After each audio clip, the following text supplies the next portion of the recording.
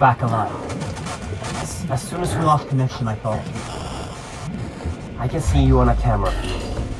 Ahead of you, in Apsulov Research, there's an elevator that you can take to me on floor B1. I've marked the elevator so you can find it with your sight. There's probably a lot of things to explore in Apsulov Research, but don't stay for too long. Don't insert the key into the tablet until I've analyzed it. Please hurry.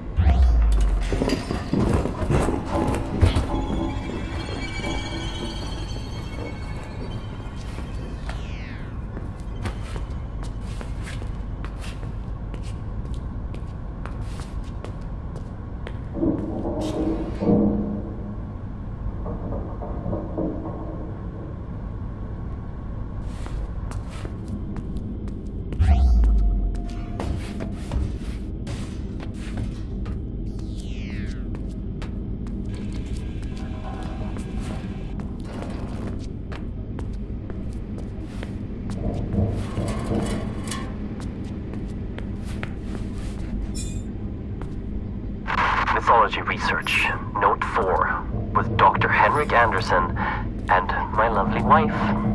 Dr. Sarah Anderson. The power of the Hammer of the God is on a whole other level than anything discovered before. The hammer is powering the entire facility and is more stable than anything else of this strength. Even the power cells charged with it has a huge amount of power.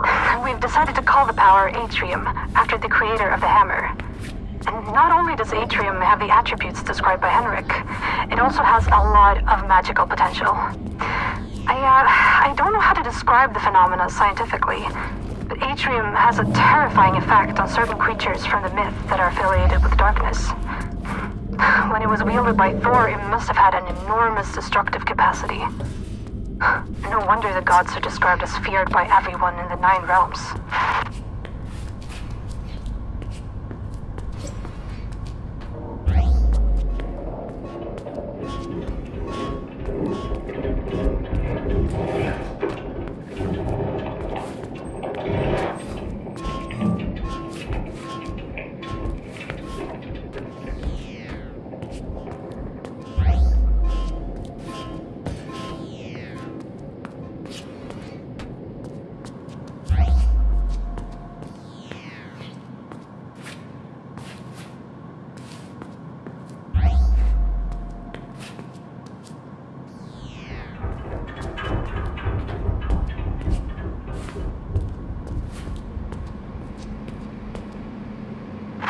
Mythology Research, Note 5. There are many gods from the myths, which seem to have ties to the things we are retrieving from the other worlds. We have items from Odin, the Allfather, and his son Thor, the god of lightning. We have also found proof of the existence of the immortal Baldur and Freya, the goddess of fertility. And we have some leads on Hel, the goddess of death. Ymir, the keeper of the Well of Wisdom, and... and Loki, the god of mischief. But that one worries me a bit.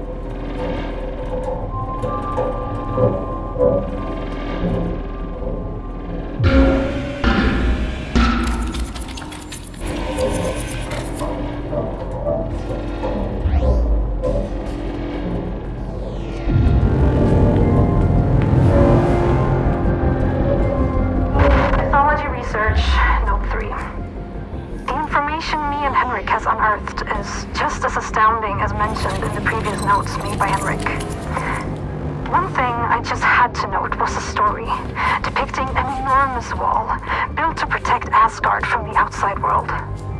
The story talks of the gods making a wager with a giant. The wager was that if the giant could finish the wall within a set amount of time, he could marry the goddess Freya. However, when the giant was almost finished, the gods cheated. And to add insult to injury, Thor crushed the giant's head with his hammer. This wall that is described in the Younger Edda doesn't seem to be a wall at all. It's a statue capable of shutting out the roots of Yggdrasil and opening them to the one in control of it. I fear that this statue is exactly what we have here in the facility. The Apsulov.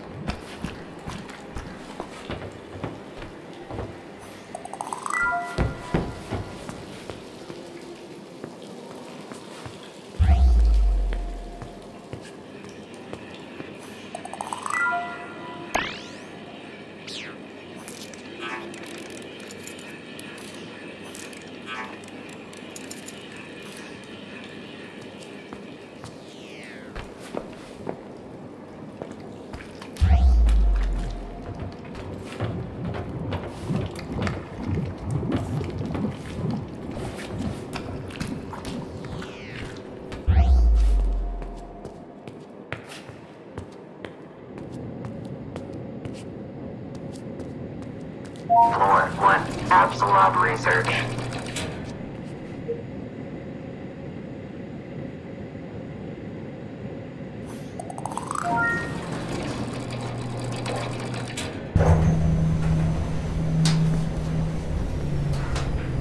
Floor 2, Apsulov Research.